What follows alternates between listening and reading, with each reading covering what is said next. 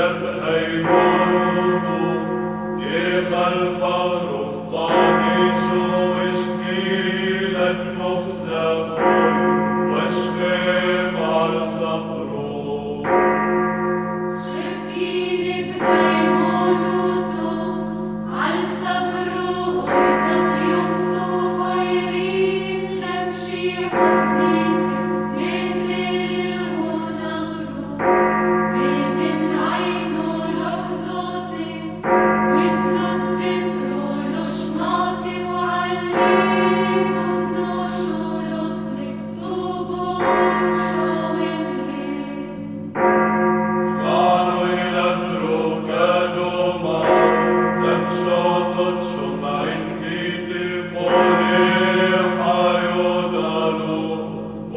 enim loch bonu, enim damen,